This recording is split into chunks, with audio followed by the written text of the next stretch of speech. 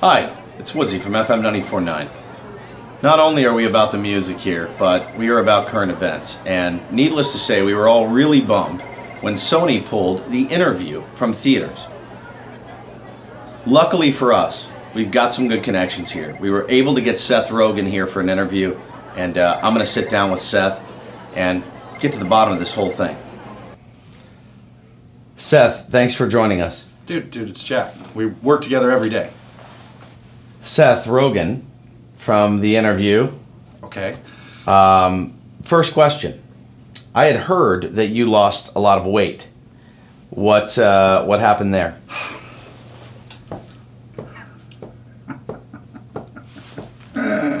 We're really doing this. What's Jonah Hill like? I don't know. I've never met him. I work right over there. Do you get to keep all the money that you made while filming the interview, even though they pulled it from theaters? Sure. Yeah, I get to keep all of it. Hard hitting. What was your favorite part about working with James Franco? Again. Uh, I, I don't know. You have to tell me about these things before we do them. Are you and James Franco the new Mel Gibson and Danny Glover? Yes, but I'm Danny Glover. Obviously. Uh, well, I did fly here all night to be here in North You Korea. didn't fly I here. wore my army jacket because I not in. North Korea. I'm I'm I came to do the interview with you, Seth Rogen. You know Seth Rogen is 45 minutes away in Los Angeles right now. What's next for you? I don't know. Are you uh, embarrassed?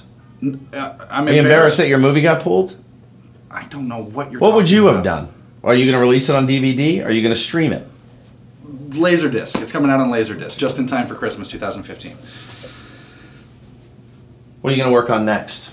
Uh, getting out of this room as quickly as possible. To try to get another movie that Yeah. we can never see? Yep, that's the plan. That's good. Are you wearing a koala on your shirt? It's a microphone. Sure, it is. Thanks for your time, Seth. Yeah, I'm out of here. God, this is so weird.